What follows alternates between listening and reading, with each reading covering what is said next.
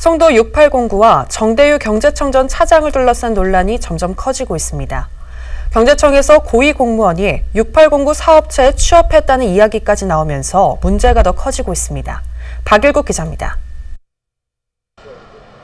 송도 6809 사업을 둘러싼 논란이 점점 커지고 있습니다. 인천경제청에서 6809 사업을 맡았던 고위 공무원이 퇴직을 하고 바로 6809 사업체인 SLC의 고위 임원으로 취업한 사실이 알려지면서 파문이 확산되고 있습니다.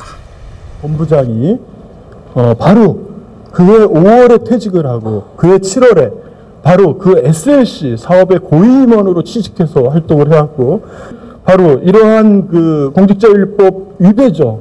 시장님 혹시 이 내용 보고 받으셨습니까?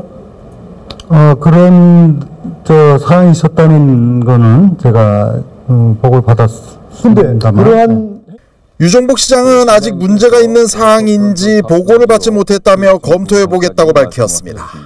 일단은 뭔지 문제가 될 소지가 있다면 뭐 당연히 그거에 대해서는 철저히 검토해 보고 그 필요한 조치가 취해야 된다고 보고 어 현재까지는 그런 그 취업 사실은 있지만은 문제되는 사항이라는 보고를 받지 않았기 때문에 제가 다시 한번 들여다보겠습니다. 조사 특위에 출석한 정대유 전 차장이 검찰 수사가 필요하다는 주장을 한 것에 대해선 의원들 간의 입장차를 보였습니다. 본인이 검찰에 출석해서는 모든 건 밝힐 수 있다. 이렇게 증언했어요. 왜 우리 의회 조사 특위에서는 밝히지 못하고 검찰 조사를 하면 밝히겠다는지 이해가 저는 저는 이해가 되질 않습니다. 우리 의회 조사 특위에서 그런 사실이 있다면 정정당당하게 밝히고 유정복 시장은 자신도 정전 차장에게 정확한 보고를 받지 못하고 있다고 밝혔습니다.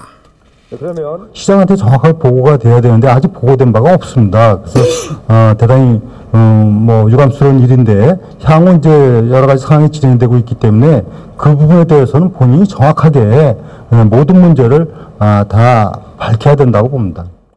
유정복 시장은 정 전 차장이 사회적 무리를 일으킬 행동을 했기 때문에 직무 수행이 어려워 대기 발령을 한 것이고 신임 경제청장의 임명과는 관련이 없는 사항이라고 설명했습니다.